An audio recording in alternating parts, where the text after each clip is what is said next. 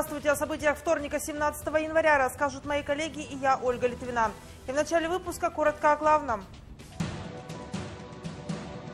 Актюбинской области нужны конкурентоспособные бизнес-инициативы. Глава региона заслушал отчет руководителя управления предпринимательства. Жители села Акжар-2 просят о строительстве новой школы и урегулировании движения общественного транспорта. О ходе работ по очистке от снега городских улиц и тротуаров в ходе брифинга в информационном центре Актубе Акпарат рассказал заместитель Акима Актубе Нагамжан Алдияров. Подробности смотрите в новостях.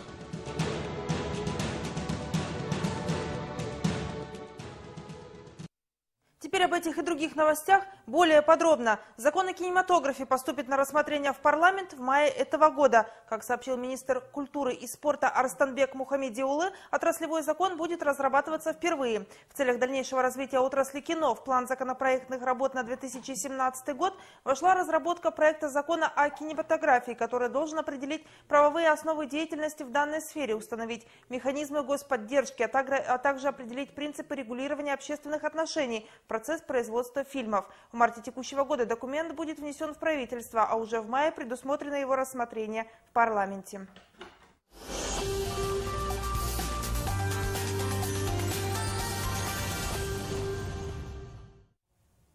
Председатель Актюбинского областного филиала партии «Нуротан» Бердебек Сапарбаев представил активу партии нового первого заместителя председателя Актюбинского областного филиала партии «Нуротан» Даригу Исмагамбетову. Исмагамбетова Дарига Гизатовна родилась в 1975 году в селе Кобда Кабдинского района. Имеет высшее педагогическое образование. В разные годы работала библиотекарем, воспитателем, учителем, заместителем директора школы, директором школы, первым заместителем председателя Актюбинского городского филиала партии «Нуротан», заместителем начальника управления управления образования Актюбинской области, начальником управления по вопросам молодежной политики Актюбинской области. С 2013 года занимала должность руководителя управления по вопросам молодежной политики Актюбинской области. Во-первых, должен брать на себя ответственность и должен требовать своих э, подчиненных. А для того, чтобы требовать, он сам должен быть грамотным, образованным, честным, порядочным и, ну, и так далее. Предпринимательская активность актюбинцев растет. Не менее активно жители региона используют инструменты господдержки. Однако необходимо привлекать и инвесторов. О работе в этом направлении рассказала руководитель областного управления предпринимательства Анар Даржанова в ходе отчетной встречи. Встреча пошла, прошла под председательством Акима области Бердбека Сапарбаева. По итогам прошлого года Актюбинская область заняла лидирующие позиции по проектам гарантирования. За истекший период было одобрено 93 проекта предпринимателей. Также в лидерах наш регион оказался и по количеству проектов с льготной ставкой субсидирования. Рассказала Анар Доржанова и о планах на следующий год. В частности, было сказано о том, из каких источников будут финансироваться проекты в 2017 году. В рамках ДКБ это у нас будет 157 миллионов. Э, по программе, новой программе продуктивной занятости, это 2,6 э, миллиардов будет, это будет осваивать э, через управление сельского хозяйства. Через наше управление будут освоены средства в размере 450 миллионов, потому что по этой программе распределение есть. Мы программу, проекты, правила всем районам э, ранее разослали. Я так думаю, вы в курсе, что э, будут э, финансирование через управление сельскохозяйства и управление предпринимательства. А также, так же, как в прошлом году, 1 миллиард тенге будут предусмотрены в рамках Кендала и Жастар. Как отметила руководитель областного управления предпринимательства, для покрытия потребностей предпринимателей региона необходимо еще 800 миллионов тенге, 600 миллионов из которых нужны для субсидирования проектов предпринимателей. Оставшаяся сумма пойдет на гарантирование по проектам. Тем временем было отмечено, что в 2017 году будет сокращено гарантирование кредитов. В 2016 году, когда планировали министерство на 2017 год, они исходили из фактического количества действующих предпринимателей. Они строго пропорционально распределили по действующим предпринимателям. Мы с этим не согласились и э, привели свои доводы, потому что доводы тоже есть. Мы, э, надо необходимо учесть и влияние э, э других рынков крупных. Поэтому пока находится наш вопрос на рассмотрении. В свою очередь, глава региона отметил, что необходимо активнее привлекать в область инвесторов, а также наладить тесное взаимодействие с международными банками и организациями в части финансирования проектов. ЮНИСЕФ, ЮСАИД, они работают по энергосбережению э, в системе образования. Я же помню, на Востоке, сколько мы денег получали именно. Они дают деньги на современные эти какие-то там котлы. Они дают деньги безвозмездные на строительство теплицы и так далее. К нам же приезжали же люди, где они? Ходе совещания были озвучены итоги реализации таких проектов, как Кендала и Жаз Старт. Эти проекты являются пилотными, и аналогов им нет ни в одном регионе Казахстана. Стоит отметить, что работа в рамках этих двух проектов уже принесла свои результаты. Так, по программе Кендала, разработанной для жителей сельской местности, было профинансировано 43 проекта на сумму 505 с лишним миллионов тенге. А через проект Жаз Старт помощь получили 15 проектов предпринимателей. Помимо этих мер господдержки, через фонд Дому реализуется еще ряд программ программ. В рамках других финансовых программ, которые реализует э, фонд Дому, это ОНДРС, поддержка производства э, переработчиков, далее Дому регионы, Азиатский банк развития, Европейский банк реконструкции и развития, через средства ЕНПФ, то есть пенсионные фонды, женское предпринимательство, у нас 221 проект получили на 15,5 миллиардов тенге. То есть, если смотреть э, общую сумму проектов, которые мы поддержали, в рамках наших финансовых инструментов мы поддержали 529 проектов в нашей области по различным программам на 33,1 миллиард тенге. Как подчеркнул глава региона, в области имеются все инструменты для открытия и ведения бизнеса. Также проводится широкая разъяснительная работа как для предпринимателей, так и для инвесторов. Во всех районах области и в Актубе открыты центры поддержки предпринимателей. Также работают центры поддержки инвесторов. По линии дорожной карты занятости, э, по линии э, дорожной карты бизнеса, и по программе «Агробизнес 2020». Ну, то есть есть различные это самые э, пути э, для того, чтобы получить дополнительные финансовые средства для того, чтобы развивать бизнес. Только нужна идея, нужна э, инициатива. Конечно, не все сразу, но у нас есть хорошие бизнесмены, которые должны учить других бизнесменов. Ольга Литвина, Нурбек Утаров, Казахстан, Актубе. Руководитель управления координации занятости и социальных программ Актюбинской области Кайрат Утаров отчитался перед главой региона Бердебеком Сапарбаевым об итогах работы ведомства за 2016 год. В рабочем совещании, на котором был заслушан отчетный доклад, приняли участие руководители ряда неправительственных организаций, в том числе занимающихся проблемами людей с ограниченными возможностями. В 2016 году в рамках государственно-частного партнерства в Актубе были открыты кризисный центр для женщин и детей и центр социального обслуживания для детей с психоневрологическими заболеваниями. В целом социальная поддержка инвалидов занимает особое место в системе мер социальной поддержки жұмысты әрі қарай 2017 жылы жалғастыруымыз керек. В 2017 году 335 объектов планируется адаптировать на предмет обеспечения к ним доступа инвалидов. В первую очередь будут адаптированы объекты, наиболее посещаемые инвалидами, объекты образования, здравоохранения и социальной защиты. По последним данным, в области проживают около 24 тысяч инвалидов, в их числе свыше 3 тысяч детей. В 2016 году свыше 6300 инвалидов были обеспечены техническими и гигиеническими средствами, протезно ортопедической помощью, санаторно-курортным оздоровлением. Также уделяется внимание занятости сельчан в рамках реализации в регионе третьего направления программы «Дорожная карта занятости-2020» в части переселения граждан из сел с низким экономическим потенциалом в населенные пункты с высоким потенциалом.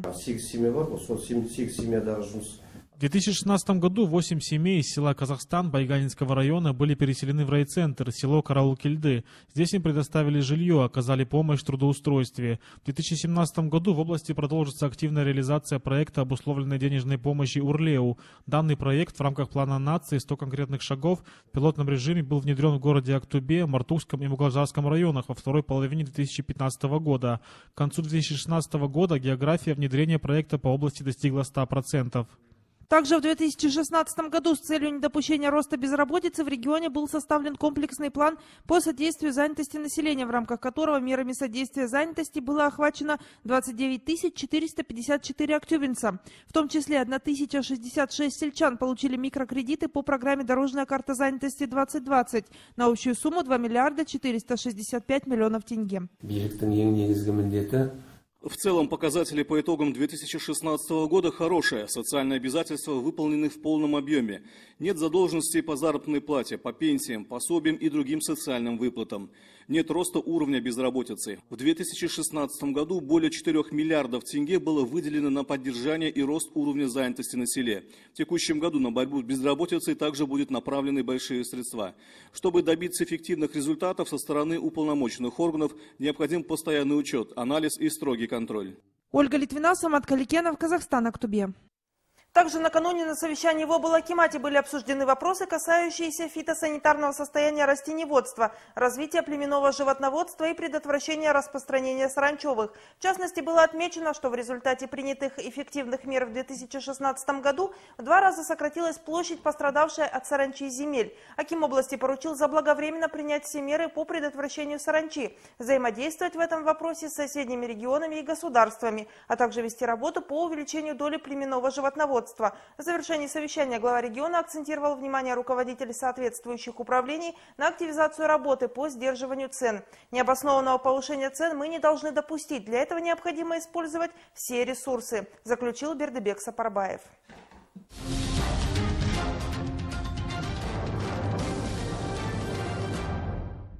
Продолжаются отчетные встречи акимов сельских округов с населением. Проходят они не только в сельских округах города, но и в районах. Так, аким Карашаевского сельского округа Мартукского района рассказал о социально-экономическом развитии села и ответил на вопросы жителей. Встреча состоялась в школе села Аккаен. В Карашаевский сельский округ Мартукского района входят два населенных пункта. Число жителей превышает тысячу человек. В селе активно строятся новые социальные объекты. Например, в прошлом году местные ребята пошли в новую школу. Имеется у сельчан медпункт и сельский клуб. Несмотря на полную оснащенность социальными объектами, в домах сельчан до сих пор нет газа, а дороги не ремонтировались много лет. От нашего села до районного центра 30 километров. Из них 20 километров хорошая асфальтированная дорога. А вот в селе Аккаин дороги практически нет. Зимой еще можно ездить, из-за снега дорога относительно ровная. А летом и особенно весной и осенью, когда дожди идут, у нас грязь постоянно. Если бы дорогу нам сделали, было бы очень хорошо. Решаются в округе и социальные вопросы. Безработных направляют на социальные работы, а молодежи предоставляют возможность пройти практику или же работать по программе «Жасл-Ель». Всего по округу у нас 8 человек, которые являются ну, малообеспеченной безработной семьей. В этом плане мы их помогаем им, э, трудоустраиваем. В летний период, в весенний, осенний, зимний период берем на общественно оплачиваемые работы, э, значит, на период на 3 месяца, на 6 месяцев. А также помогаем по программе УРЛИУ, особенно малообеспеченным семьям. А также у нас э, работали по программе ЖАСЛ-ЕЛЬ, значит, студенты 13 человек. И, конечно, в летний период, весенний период, когда начинается весенняя полевая работа, мы э, тех э, ребят или э, женщин, мужчин трудоустраиваем в крестьянских хозяйствах. Развивается и сельское хозяйство. Так, в сельском округе работает два крупных крестьянских хозяйства. Специализируются они на животноводстве и растеневодстве. В перспективе планируется создать производственные кооперативы. Наше крестьянское хозяйство специализируется на животноводстве и растеневодстве. Общая площадь земли 3000 гектар. Сейчас мы ведем переговоры с мелкими крестьянскими хозяйствами, чтобы объединиться в кооперативы. Это обоюдная выгода. Например, у них не всегда есть хорошая сельхозтехника или современное оборудование для работы. Мы им это все готовы предоставить как пайщики, а для нас это дополнительное увеличение поголовья скота. Аким сельского округа по мере возможности ответил на волнующие сельчан вопросы и выслушал предложения по улучшению жизни на селе. Ольга Литвина, Армандо Смагамбетов, Казахстан, Актубе. А что касается областного центра, то в текущем году состоится 17 отчетных встреч Акимов с населением Благодарного, Каргалинского, Куралинского, Нового и Создинского сельских округов по итогам социально-экономического развития за 2016 год. Сегодня во второй половине дня состоялась отчетная встреча Акима Каргалинского сельского округа Алмаза Алимбаева с населением в селе Акжар. К слову, здесь проживает около одной тысячи человек. В ходе встречи Аким отчитался о своей деятельности за прошедший год, доложил об итогах развития Каргалинского сельского округа ответил на многочисленные вопросы сельчан о перспективах развития села и решении насущных вопросов. У нас пожелание, вот, в первую очередь, Вахжар-1. Нам, в первую очередь, вот, так как мы в школе вот, находимся, начальник, у нас школы нету. В первую очередь, мы желаем, конечно, чтобы школу построили новую. У нас сейчас начальная школа до четырех, до четырех классов начальные. И до 11 классов желательно, чтобы после четырех дети не бегали то на Эрину, то на Актюбис, а где-то а, Ахжар-2. Вторая проблема это у нас автобус 19 Доезжает только до Жибека. И так как мы живем вот в садовом коллективе, так еще даже там три садовых коллектива есть, мы буквально не успеваем, даже вот бывает иногда, куда мы идем, даже забываем до остановки. И желательно, чтобы автобус хотя бы до до моста, вот это Бытах, до моста бы подъехали к нам. Так, и у нас вот на улице свет все приготовили. За год, за, то, что, за два года, то, как я знаю, только два раза нам свет давали.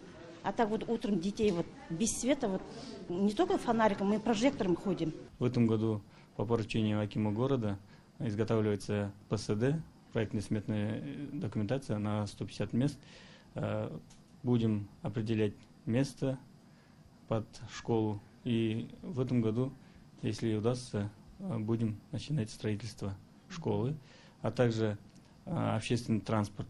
У нас э, не заезжал в поселок, так как у нас дороги асфальтированы не было. В 2016 году мы заасфальтировали центральную улицу. В этом году будет уже 19 маршрут заезжать в поселок до конечной остановки как становятся благоприятные погодные условия, мы поставим э, автобусную остановку на конечке.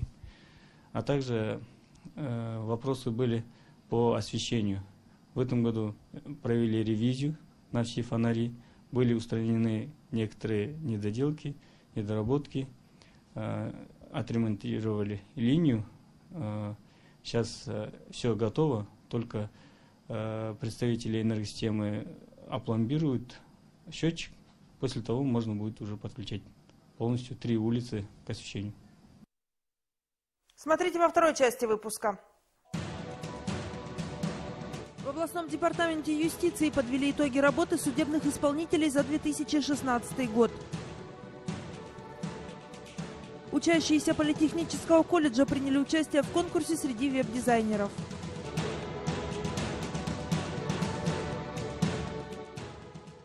Продолжаем выпуск. В областном департаменте юстиции подвели итоги работы судебных исполнителей за 2016 год. Представители ведомства отчитались о проделанной работе перед населением. Также на встречу пригласили депутатов областного маслихата, членов общественного совета, государственных и частных судебных исполнителей. Подробности в следующем сюжете выпуска плане нации 100 конкретных шагов особое внимание уделяется верховенству закона. 27-й шаг программного документа предусматривает дальнейшее развитие Института частных судебных исполнителей, и эта задача активно реализуется. Большая работа была проделана в 2016 году.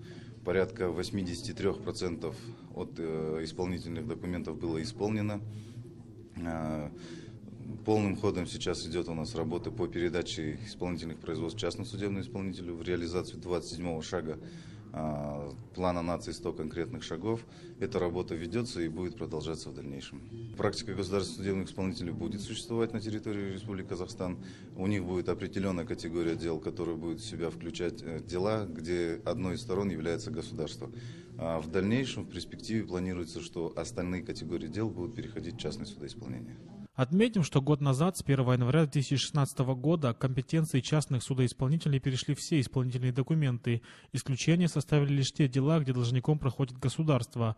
В общей сложности 90% всех документов теперь рассматриваются исключительно частными судебными исполнителями. За 2016 год в производстве частных судебных исполнителей области находилось более 110 тысяч исполнительных документов на сумму более 62 миллиардов тенге.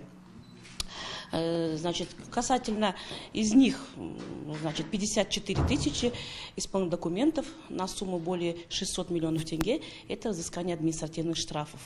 Э, значит, и из этого же количества, значит, 6700 исполненных документов алименты. Из всего подлежавшего к исполнению э, остатком перешли, значит, 40 тысяч исполнительных документов, которые мы планируем окончить в 2017 году. Всего на сегодняшний день по области работают 38 государственных судебных исполнителей, а деятельность частного судебного производства в регионе осуществляют 62 человека. Из них 15 работают в районах, а 47 в городе Актубе. Отметим, что все районы охвачены деятельностью как государственных, так и частных судебных исполнителей. Николай Сырбов, Нурбек Кутаров, Казахстан, Актубе. Вывоз снега с городских улиц и тротуаров, борьба с гололедом, а также административное наказание за складирование снега. Эти и другие вопросы поднимались в ходе брифинга в информационном центре «Актубе Акпарат». На вопросы представителей средств массовой информации ответил заместитель Акима Актубе Нагмжан Алдияров. Подробности в следующем сюжете выпуска. До конца текущего года из городского бюджета выделили 910 миллионов тенге на уборку снега с улиц областного центра и пяти сельских округов. Общая площадь обслуживаемых участков составляет около 4 миллионов квадратных метров. Это более 200 городских улиц, объездные автомобильные дороги. На зимнем содержании дорог задействованы 14 спецпредприятий. К работе привлечено свыше 260 единиц техники, том числе автогрейдеры, тракторы с отвалом и щеткой, дорожно-комбинированные машины, погрузчики, самосвалы и другая техника. Подрядчики очищают от снега не только проезжую часть, но и прибордюрные площади. В этих работах задействованы 24 бригады, из которых 9 трудятся даже ночью. Отметим, что для контроля вывоза снега на самосвалы устанавливают GPS-навигаторы. У нас э, двойной контроль на сегодня. Э, отделами ЖКХ специалистами контролируется ночное и дневное время. Кроме того, по GPS суточный вывоз снега э, собирается сводная информация в Акимат и сверяется достоверность вывоза снега. И на этом, по этим данным GPS и будем оплачивать вывоз снега. При вывозе снега первоочередное внимание подрядчики уделяют улицам, где проходят маршруты общественного транспорта. Для недопущения чрезвычайных ситуаций организовано круглосуточное дежурство спецтехники и ответственных лиц. Также городским акиматом созданы мобильные группы, которые в ходе рейда выявляют факты складирования снега на тротуары и проезжую часть, как со стороны простых горожан, так и юридических лиц. Только на последних было наложено более 245 тысяч тенге штрафов. Нанимать машины для вывоза снега обязаны и жители частного сектора. Если э, имеется у них техника, у нас э, данные телефонные номера э, есть, э, пять организаций, которые занимаются наемной машиной, можете их нанять э, по 5 тысяч тенге за одну машину, можете вывести. У нас э, в социальных сетях это номера машины, телефонные, э, которые занимаются вывозом снега, имеется. Кроме того, если там э, живет или пенсионер, или который не может нанять машину, мы подрядным организациям просим, чтобы они помогли вывести. Это вопрос, вы индивидуальный подход решаем. Только с начала текущего года коммунальщики очистили от снега более 30 улиц, а всего в зимний период на снежные полигоны вывезли свыше 120 тысяч кубометров снега. Особое внимание уделялось районам Москва, Шанхай, Курмыш, которые наиболее подвержены подтоплению в паводковый период. Всего в областном центре для складирования снега оборудовали 6 полигонов. Они находятся в районе поселков Акжар-2, Кирпичный, Заречный, также в районах Курсанского шоссе и Богословской трассы. Кроме того, снег выводят на полигон твердых бытовых отходов. Как подчеркивают подчеркивают коммунальщики, только за декабрь месяц количество осадков в три с половиной раза превысило норму. Николай Сырбов, Нурбек Утаров, Казахстан, Актубе. Учащиеся Актюбинского политехнического колледжа приняли участие в конкурсе профессионального мастерства в компетенции веб-дизайн. Мероприятие организовали в целях популяризации рабочих профессий, воспитания чувства гордости к культуре труда и стимулирования дальнейшего совершенствования профессионального мастерства молодых людей. Участниками конкурса стали 13 учащихся колледжа в возрасте от 18 до 22 лет. По результатам студенческих соревнований определятся победители, которые примут участие в региональном этапе конкурса World Skills проводилась в прошлом году. Победитель, победили студенты нашего колледжа. Они представляли нашу область в Астане на, на чемпионате Казахстана. Ранее по другим компетенциям программирования студент наш также представляли нашу область и республику, участвовали в международном тур, чемпионате в России и в Бразилии, Сан-Паулу. Я думаю, что наши студенты и в этом году покажут свои знания и навыки по, по данной компетенции и будут представлять нашу область в Казахстане и, я думаю, в дальнейшем тоже будут представлять нашу республику.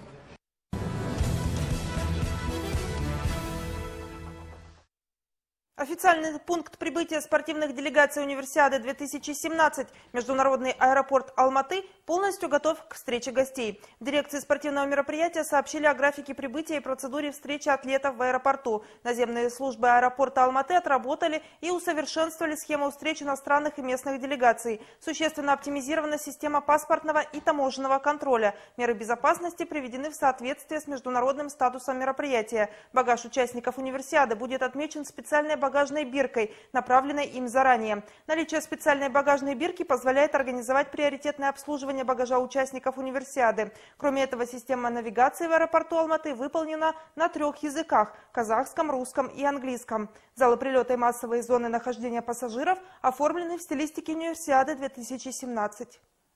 Более 90% гостей, участников универсиады прибудут в аэропорт. А, если быть точнее, 2823 э, спортсмена, членов делегации прибудут э, в аэропорт. А, наиболее большие, самые большие делегации, это традиционно делегации России, Китая, преддверии Всемирной зимней универсиады 2017 в Алматы дополнительно установлено более 300 информационно-указательных дорожных знаков. Как сообщает дирекция универсиады, информация о спортивных объектах и маршрутах движения транспорта к ним указана на знаках индивидуального проектирования на трех языках – казахском, русском и английском. Дизайн дорожных знаков включает утвержденный логотип соревнований и пиктограммы спортивных объектов по видам проводимых соревнований. Знаки маршрутного ориентирования расположены на оптимальных маршрутах проезда проезда к спортивным сооружениям, объектам транспортной инфраструктуры, ЖД-вокзалы и Международный аэропорт Алматы, местам отдыха и проживания спортсменов и гостей универсиады. В систему навигации также вошли медицинские учреждения Алматы.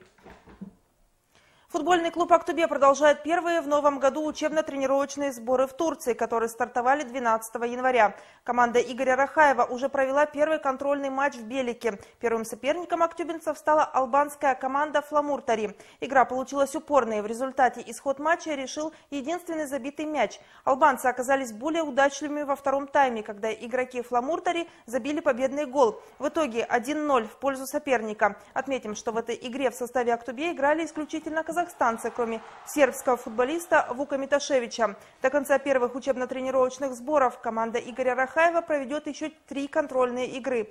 22 января актюбинцы встретятся с Махачкалинским Анжи, а 26 января с Хабаровской СКА «Энергией». 31 января соперником Актубе станет болгарская команда «Пирин». Первые учебно-тренировочные сборы для наших футболистов завершатся 1 февраля. Уважаемые телезрители, об этих и других новостях вы сможете узнать, зайдя на сайты kstrk.kz и актубетв.kz, а также на страничках социальных сетей. Это были все новости на сегодня. Спасибо за внимание. До свидания.